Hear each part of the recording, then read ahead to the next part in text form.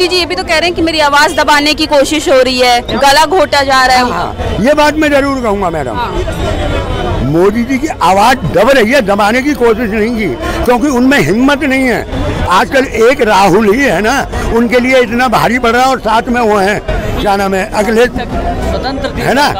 तो है ना? आवाज़ दब रही है उस दिन मैंने देखा। हाँ। ये बात मोदी जी की चाहिए और मैं सहमत हूँ। उस दिन जो हिंदू हिंसक होते हैं उसी बयान पे मोदी जी वहाँ से चुपचाप उठ के चले गए। अरे भाई, सही बात अगर कोई तुम गलत बात बोल रहे हो और कोई सही आवाज़ उठा रहा है, अगर आपको लगता है कि भाई आवाज़ मेरी दबाई जा रही है तो ऐसी आवाज़ तो दबानी भी चाहिए।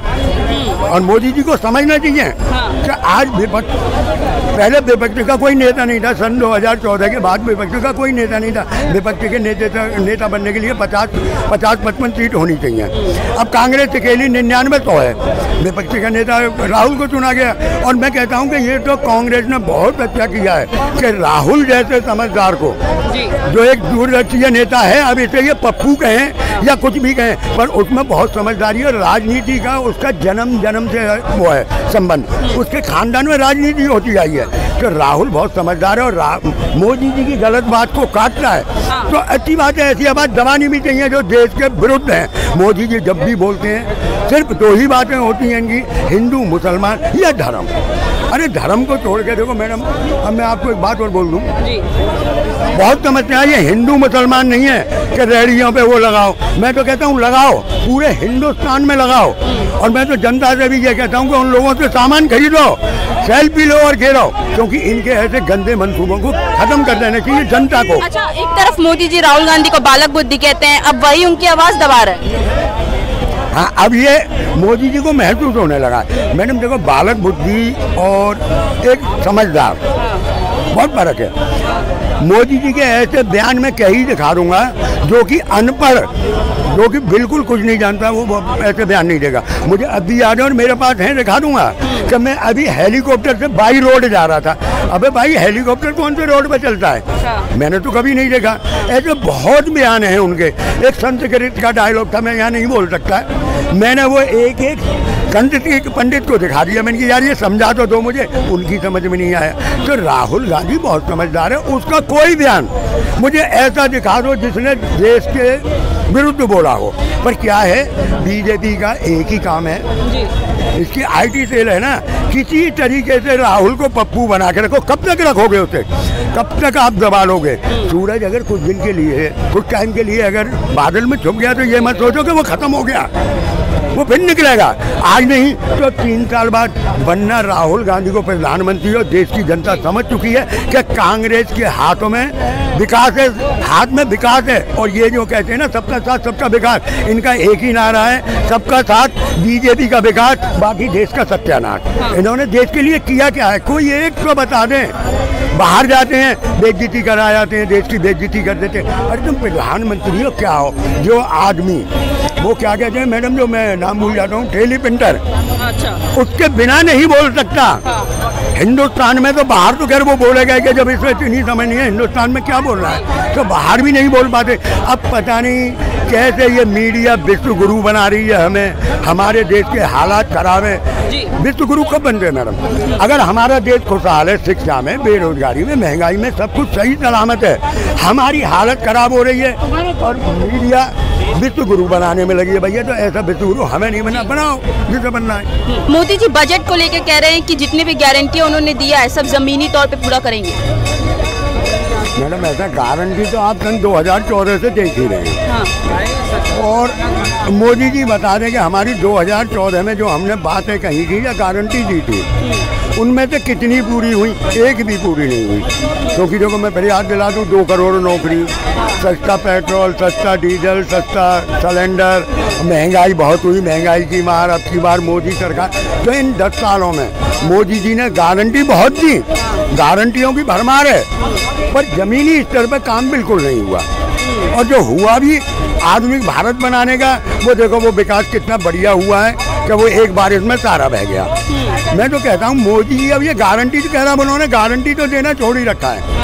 अगर चार सौ होती तो शायद गारंटी देते। आजकल तो वही कुछ गारंटी में है। अच्छा। खुद वारंटी में है वो।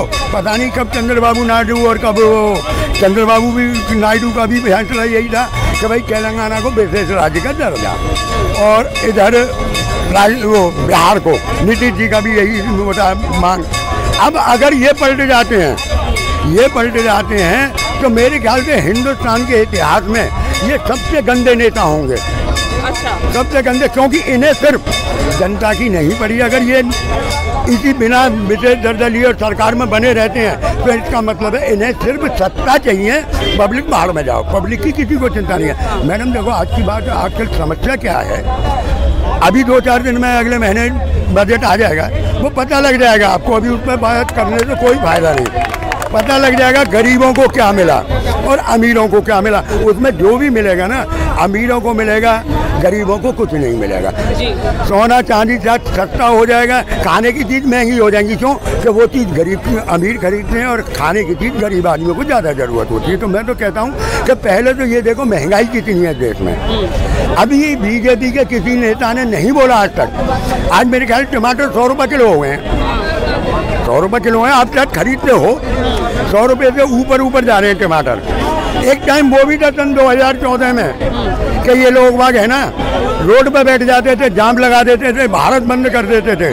आज क्या हो गया? आज कहते हैं मौसम की मार है। अरे तो मौसम की मार तो उस टाइम भी थी। यही सोचने की एक वजह है मैडम कि आदमी को सोचना चाहिए। जी क्या कहना है? मोदी जी कह रहे हैं कि उनकी आवाज़ दबाने की कोशिश हो रही है विपक्ष जो उनकी आवाज़ दबाता है गला घोटता है। अटल जी ने कहा था संसद में कि विपक्ष जितना मज़बूत होगा उतना देश मज़बूत होगा। तो उसमें कोई दो राय है ही नहीं। अगर कोई पक्ष और विपक्ष वाली संसद बनाई इसी के लिए अगर कोई गलत करेगा तो दूसरा विरोध करेगा तो इसको आवाज़ दबाने वाली बात नहीं है। पर मोदी जी को तो इससे परेशानी हो रही है ना? राजनीति में रिटायरमेंट की भी उम्र होनी चाहिए। नए लोगों को मौका देना चाहिए तो कुछ नया सृजन होगा। नहीं तो वही परिपाटी चली आ रही है लड़के के अब नई पीढ़ी को तैयार कर रहे हैं। कैसे भी कैसे धक्का मार के आगे बढ़ा रहे हैं। ठीक है कि नहीं? इसलिए एक एज होना चाहिए राजनीति में।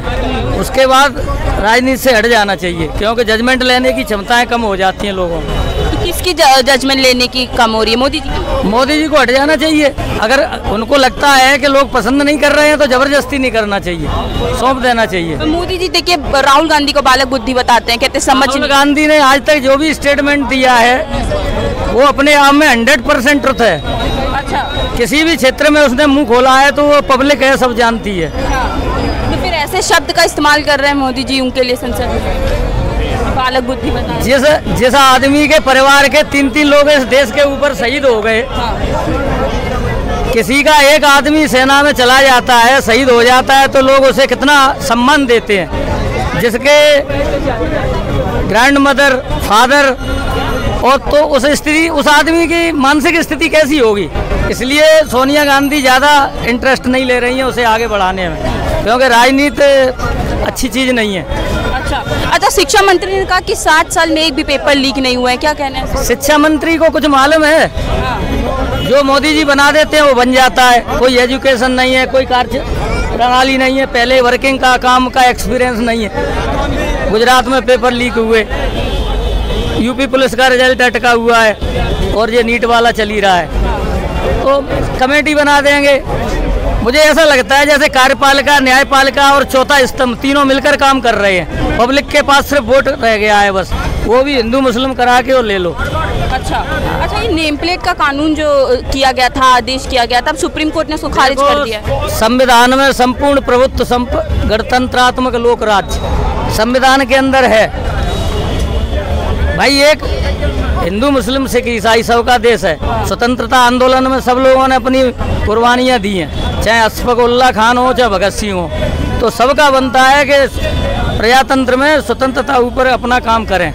परंतु ये समझ से परे है। सुप्रीम कोर्ट ने संज्ञान लिया है, वो अपने आप में बिल्कुल स्वागत योग्य है। अच्छा मोदी जी कहते हैं कि विपक्ष जो है जनता को गुमराह करने का काम करती है। चुनाव के समय भी उन्होंने जनता के साथ यही किया था। विपक्ष क्यों गुमराह करेगी? आपकी आईटी सेल उसे पप्पू बना रही है, राहुल गांधी को। तो हो सकता है कि इनके लोग भी कुछ बोलें। तो ये तो एक राजनीतिक सगल बन गया है। राजनीति करने का। अच्छा। ये सब आईटी सेल का काम है न कि किसी व्यक्ति विशेष का। हाँ। पर कुछ शब्द जैसे मोदी जी खुद ही इस्तेमाल करते हैं ना चाहे बालक बुद्धि हो गया उन्होंने पहले भी ये बोला था कि संपत्ति लूट लेंगे। तो क्या लगता है एक नरेटिव सेट करना चाह रहे थे कौन कहता है? मोदी जी। किससे?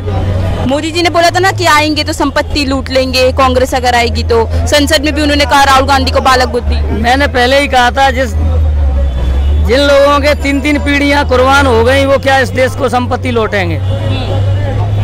अब सब कुछ तो उनने समर्पण कर दिया तो कहाँ ले जाएँगे संपत्ति को लूट के? ये तो पब्लिक है सब जानती है कौन लूट रहा है कौन नहीं लूट रहा है।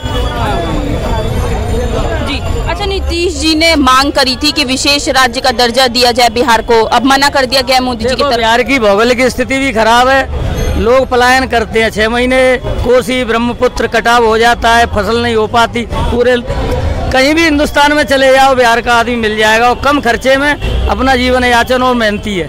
तो अगर कोई भाई कमज़ोर है तो उसको बढ़ाने में क्या दिक्कत है? हाँ। देना चाहिए। जी। हम्म। अच्छा नीतीश जी ने ऐसा बोला था कि जो विशेष राज्य का दर्जा नहीं देगा मतलब देश का विकास नहीं चाहेगा। तो अब मोदी जी ने तो मना कर दिया है। तो क्या भाजपा नहीं चाह रही है देश? देखो वैशाखी की सरकार है। उधर नायडू है, इधर नीतीश जी ने विशेष राज्य के लिए ही इनको समर्थन दिया था, क्योंकि वो अपनी स्टेट का विकास, हर कोई चाहता है अपनी स्टेट का, अपने घर का विकास तो उसमें कोई गलत नहीं है। जी।